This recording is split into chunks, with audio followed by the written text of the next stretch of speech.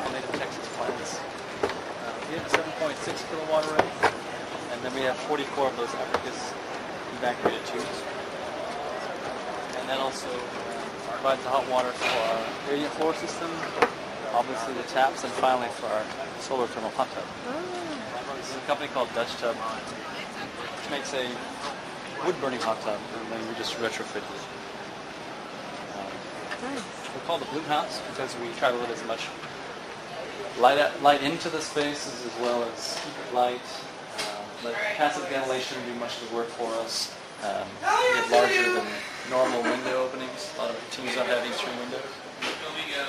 Um, this is a bamboo subfloor. Um, the walls are MDI. It's a type of MDF that doesn't have any formaldehyde. Uh, there is drywall, obviously. And then we have six-inch SIP panels. We have ceiling fans. We have an AC system that's made by Mitsubishi. It's a ductless mini split. Uh, cabinets are from Colno. This is a Caesarstone countertop, ground up quartz and resin. Uh, most of the appliances are from a company called Liebherr, I think. They're German. Okay. They don't work very well. I would never use them again. Same with the oven. I would just tear that thing out. Um, let me go your way since Okay. perhaps that. We have a detached toilet from the shower. Uh, and the bedrooms, really the entire space. It's only 500 square feet. Oh, wow. We built it on a chassis that we Do you built see? ourselves. And then it's us. So small because of transportation, or Yes, that's and all the space you needed? It was all the space we needed. Keeping it as a single envelope helped us out in terms of uh, efficiency. Okay. So Oh, that's that.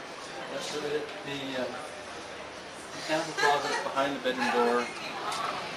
And then our batteries are all there. Okay.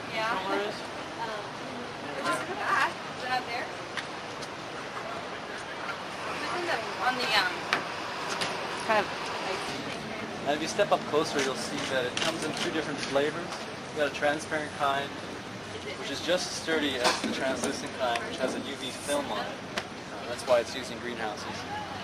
But that UV film does exactly what you think it does. It prevents radiation.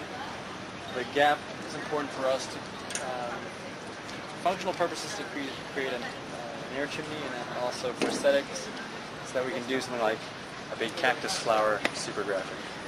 So I guess since you're from Texas, you spend a lot more effort into cooling the house than heating the house. Yes. So what what do you use to cool the house? Mostly passive ventilation. We have uh, ceiling fans, and then we also have that ductless mini split. But that's it. Okay. Yeah.